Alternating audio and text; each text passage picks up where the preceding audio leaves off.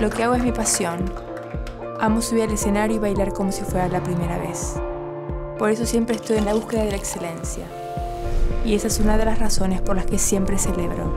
¿Cuáles son las tuyas? Shandong, siempre hay razones.